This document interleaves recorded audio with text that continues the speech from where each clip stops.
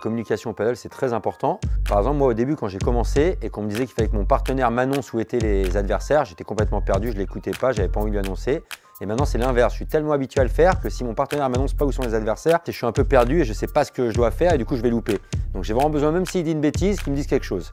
Et après, la communication sur tout ce qui est stratégie. Moi, on peut le voir sur le terrain, ceux qui me suivent, je reste pas super longtemps assis au chemin de côté, même s'il y a des gros progrès. Et je suis pas un grand communicant avec mon partenaire, mais je m'adapte. C'est-à-dire que moi, je n'en ai, pas le besoin, mais maintenant, je sais le faire. Si mon partenaire a besoin de sentir un peu plus de paroles, de voilà, d'échanges et de tactiques, je peux le faire. Mais c'est vraiment quelque chose qui dépend de mon partenaire et auquel je vais m'adapter. C'est pas une demande de ma part. Autant sur la chaise, on peut parler de tout, autant quand on est sur le terrain, j'aime bien que ça enchaîne un peu les points et du coup, j'aime bien qu'il n'y ait pas trop de blabla.